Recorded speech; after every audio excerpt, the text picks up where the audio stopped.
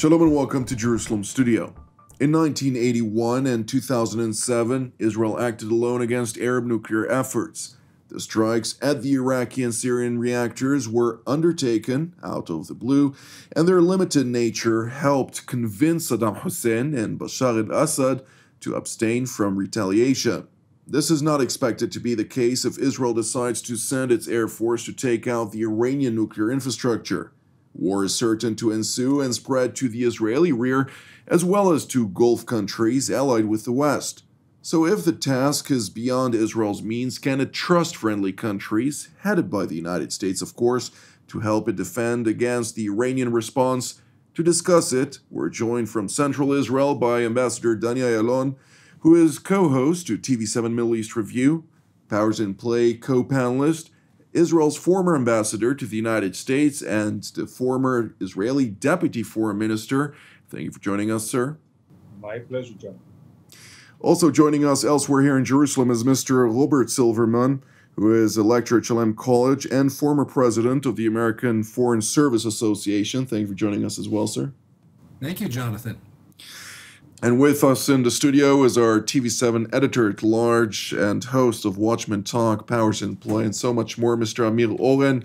Amir, give us a broader understanding uh, regarding this current topic. And I'd like to ask you, particularly as today we're going to ask a question Can Israel rely on the West vis a vis Iran? Well, the short answer is no, but we don't want it to be the shortest program ever. Right. So um, uh, we will convert it to up to a point or from a certain point on.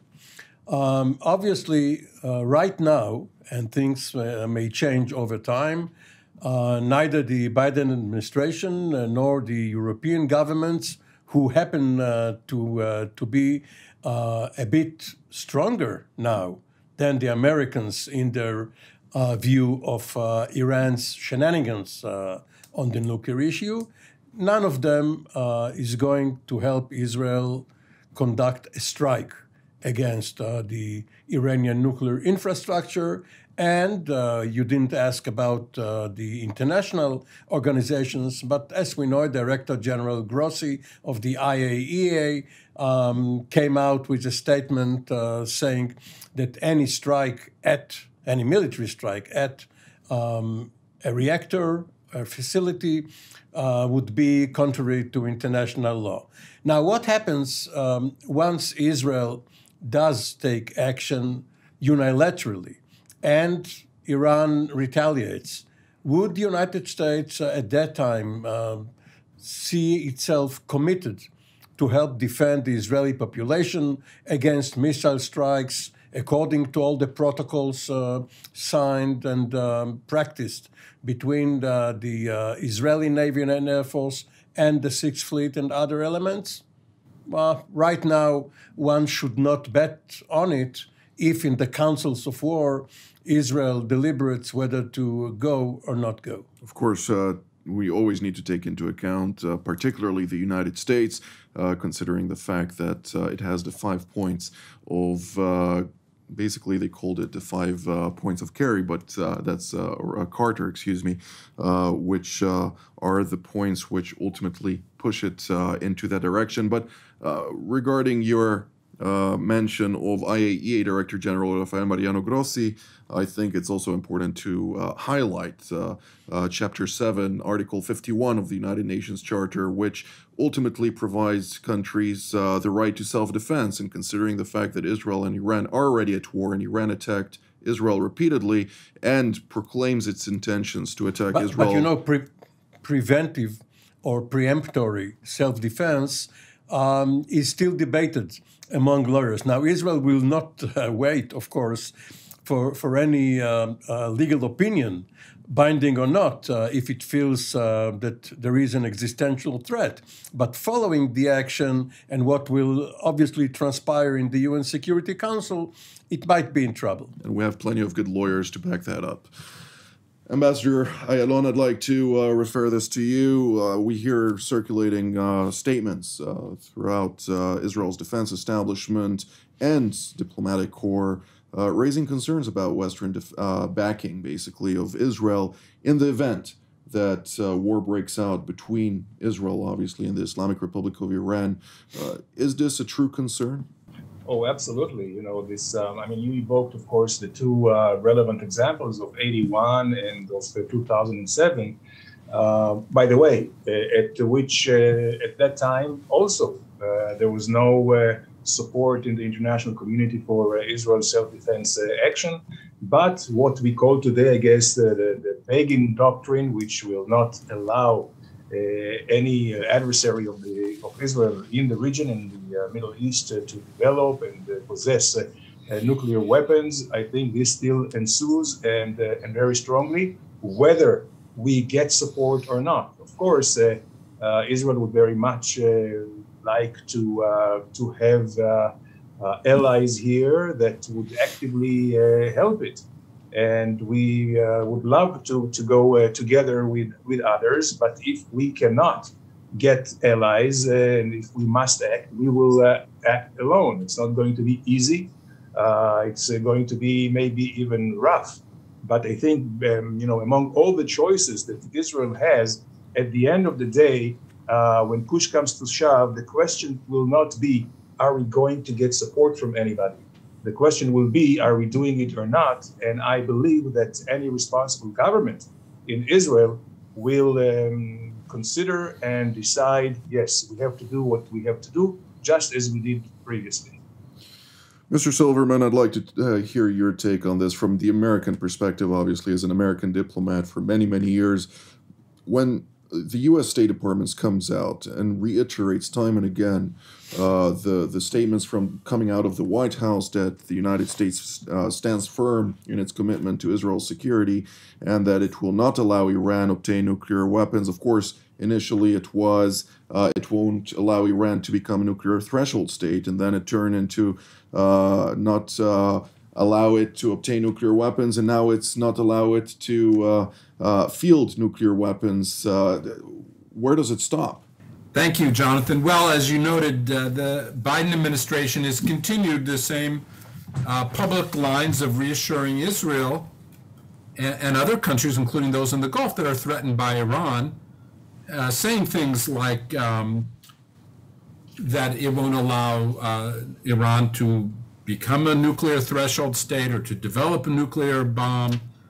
Uh, and those were reiterated most recently on March 6th and 7th uh, during the U.S. Israel Strategic Consultative Group with um, the uh, National Security Advisors of Israel and the U.S. So uh, the public line is there. I, I, would add that Blinken has also said, the Secretary of State, that uh, they prefer uh, diplomacy. Diplomacy is the most effective uh, way to deal with the Iran nuclear files. So, um, both that uh, the standard talking point and the diplomacy uh, is the preferred option points are out there. I, I, would just note in general the famous saying of Winston Churchill that the U.S. always does the right thing, but only after exhausting all other options. So would it, uh, and we also note, of course, that the most effective way to uh, of a military strike on Iran, which is a very different uh, proposition, frankly, than either the 1981 Iraq strike or the 2007 Syria strike, uh, the most effective option would be a U.S. Uh, one because the U.S. has uh, unique military capacities. For instance, the huge um, what they call the massive ordnance penetrator bomb that would go right down through the uh, the mountain uh, of Natanz. So the only, and only the U.S. has that particular form of uh, smart bomb.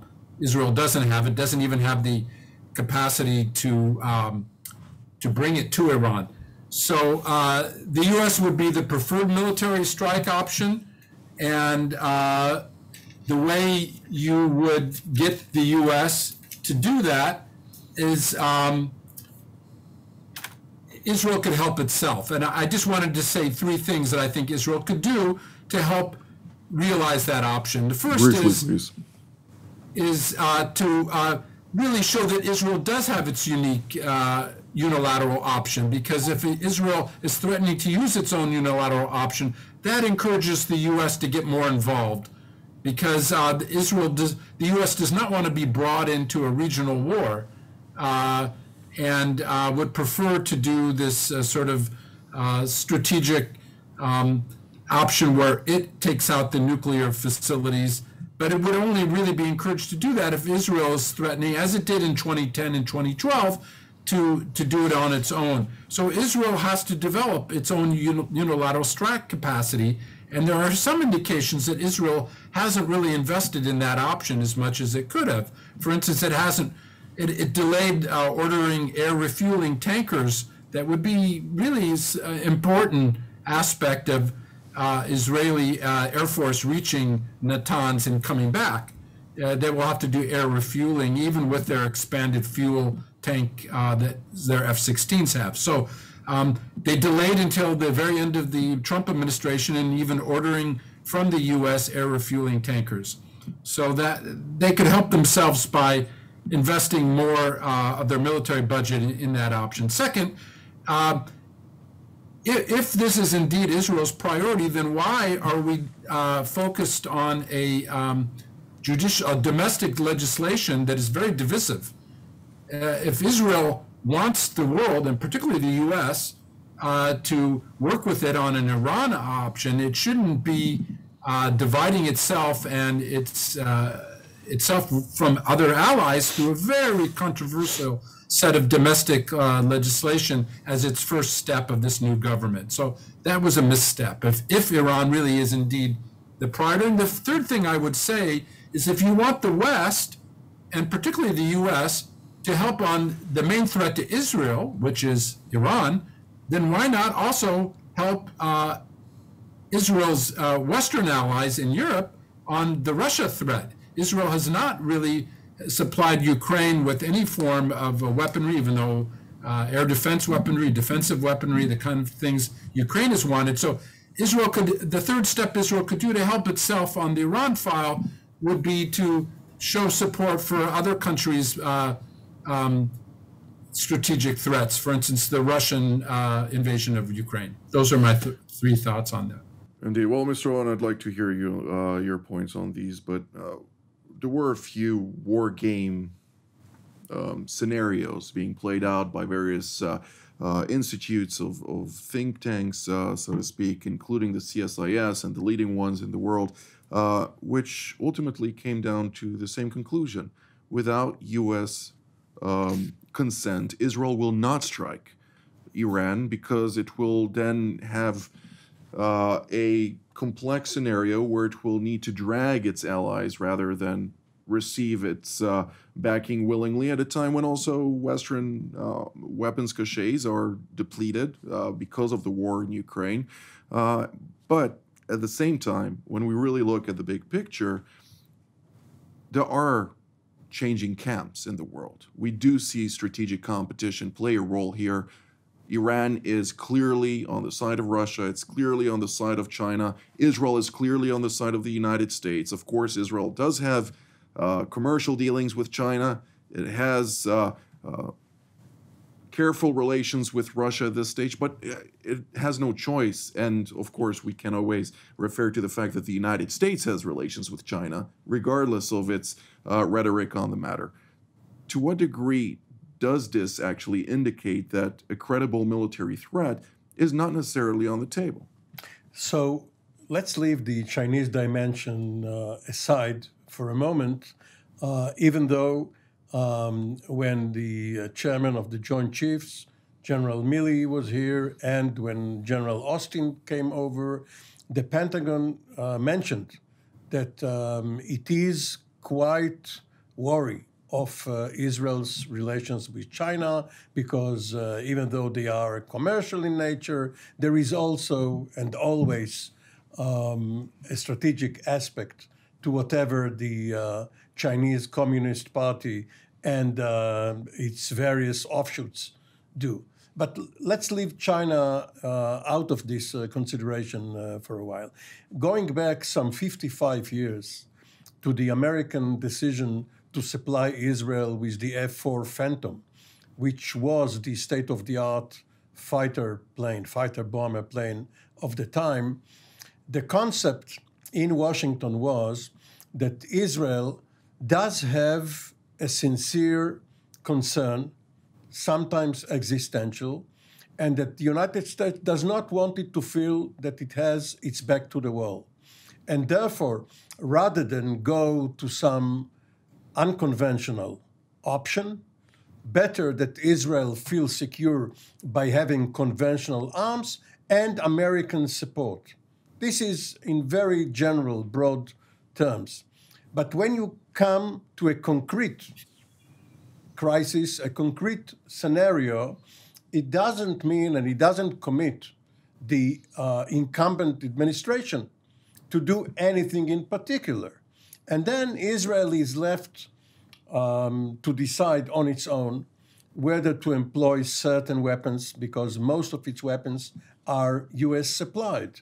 Is the US going to refurbish uh, munitions if Israel uh, expands them in a conflict? It's not going to be a one shot operation. What happens down the road? We saw that the United States itself has depleted its uh, stocks. Uh, how is it going uh, to, uh, to replenish Israel's uh, stocks?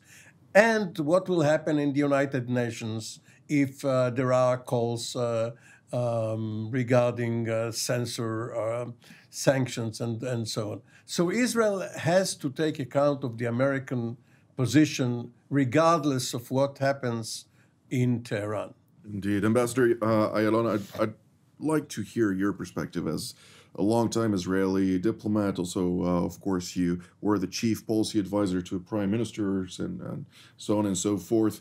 Uh, when you see a delegation uh, flying to the United States, of course, the Minister of Strategic Affairs, Ron Dermer, was there, the former ambassador uh, to the United States as well, um, including the National Security Advisor uh, uh, Tzachi Hanegbi, who was also previously a minister, meeting, as uh, Mr. Silverman noted, with O'Sullivan.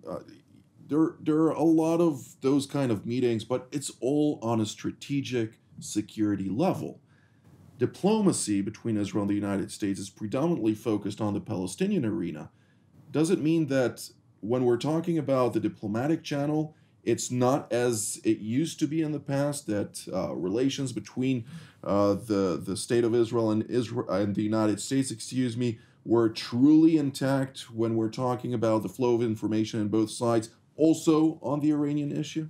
Well, Jonathan, I, I have participated in many, or and I have headed some of the what we um, used to call the strategic dialogue between Israel and the United States, which was. Uh, multi-functionary and it was uh, interdisciplinary and uh, um, interagency from the United States. Uh, you could, and I believe this time as well, the said State Department, the Pentagon, and Ministry of Energy, and of course, um, you know, the, the, the, different military, CIA, DIA, and others, and from Israel also, you know, the counterparts. And um, it wasn't only the Palestinians that uh, where uh, what was discussed. It was uh, it started usually, uh, and I would say traditionally, and probably as well continuing now, is the regional situation in terms of stability, and then you drill down on different um, you know, specific areas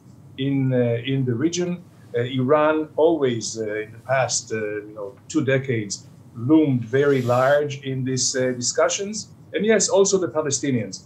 But uh, in this uh, type of dialogues, of course, no um, operative uh, uh, measures were discussed naturally. It was only guidelines and broad strategic overview.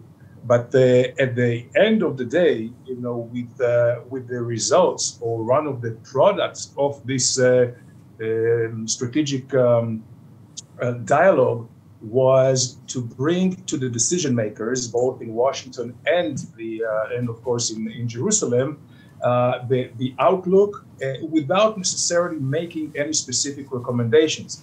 Uh, this uh, would be uh, done, I guess, in each capital with their own um, you know competitive, I would say, forums and, and and consultants. And but at the end of the day, in every dialogue, what was very much uh, emphasized, Jonathan, was that Israel is sovereign to decide what is uh, important or critical uh, to its uh, um, national defense, to especially.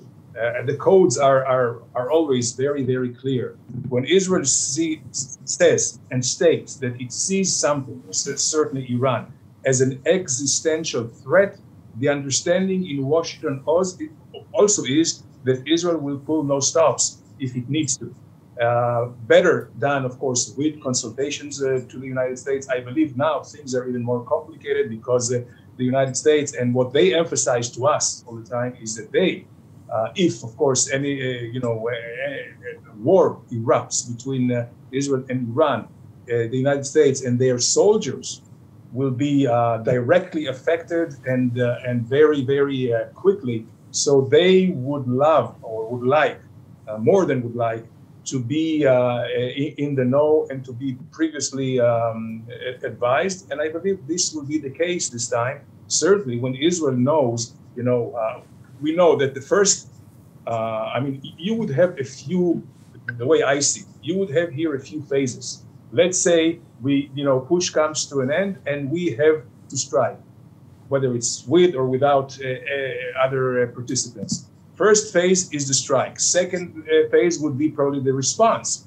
And then the third uh, phase would be um, the counter to the response. And for that, we very much need the United States in re- replenishing uh, munitions, weapons, and of course, a political uh, uh, umbrella in international uh, relations. And maybe at the end of the day, of course, also some actions, and military actions on the ground.